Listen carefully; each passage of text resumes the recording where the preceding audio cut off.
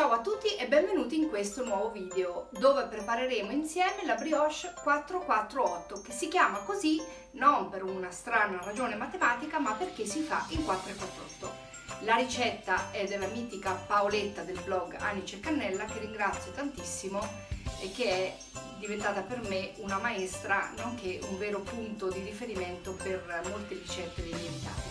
Vediamo insieme gli ingredienti.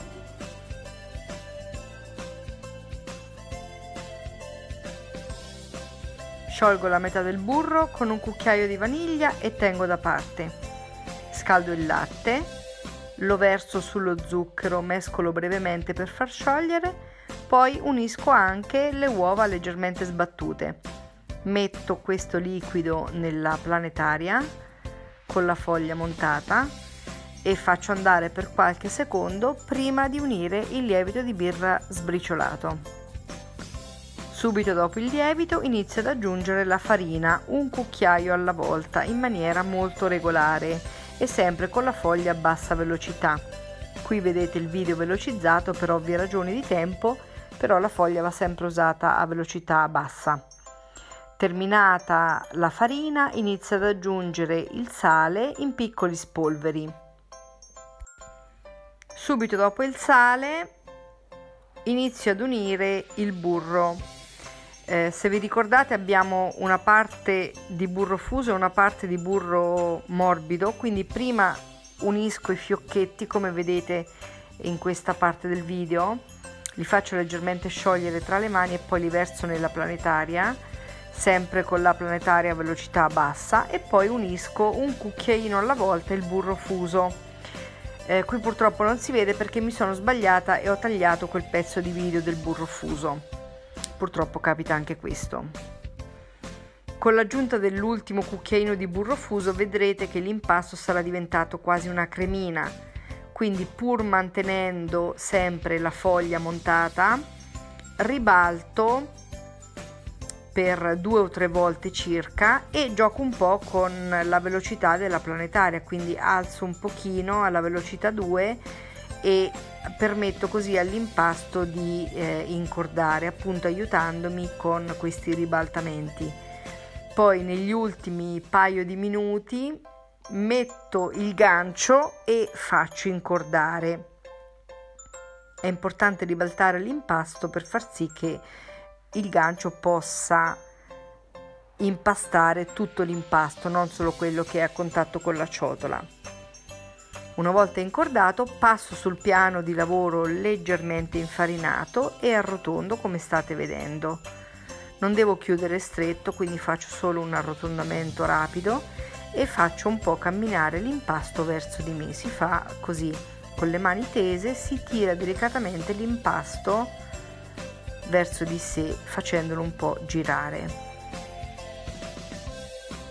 Proprio così in questo modo poi copro a campana e faccio fare un primo riposo di 20 minuti. Questo riposo serve per far rilassare il glutine prima di lavorarlo di nuovo, come state vedendo, con queste pieghe di forza di tipo 2. Quindi prendo dei lembi di pasta e li ripiego verso l'interno spingendo un po' con la base della mano, quindi chiudo per chiudere bene fino a formare una palla, quindi ripeto tutto intorno.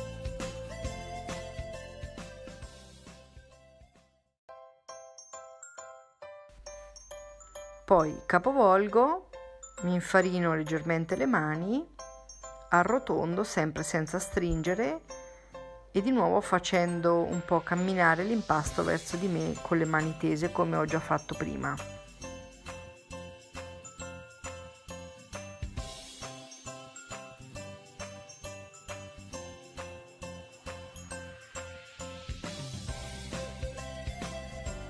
Spolvero un po' il piano e copro di nuovo a campana lasciando riposare per altri 20 minuti.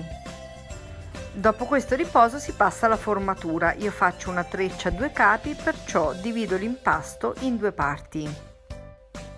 Da ogni parte d'impasto dovrò ottenere una sorta di lombrico molto lungo di salsicciotto Perciò lavoro ognuna delle due parti d'impasto in questo modo, schiaccio per bene fino a formare una sorta eh, di rettangolo quindi elimino tutta l'aria appiattisco per bene e poi porto la parte superiore verso il centro. Quindi inizio ad arrotolare ma chiudo e sigillo bene con il palmo della mano. Ripeto la stessa cosa quindi appiattisco arrotolo e sigillo questo lo faccio per circa tre volte. Questo mi consente di avere un salsicciotto che si allungherà con estrema facilità. Come vedrete tra pochi secondi qui proprio nel video.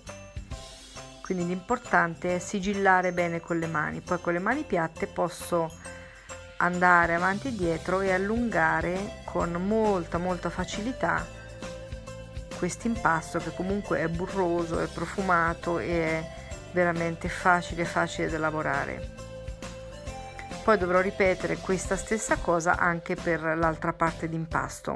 Qui ho velocizzato chiaramente il video ma la procedura è la stessa di prima.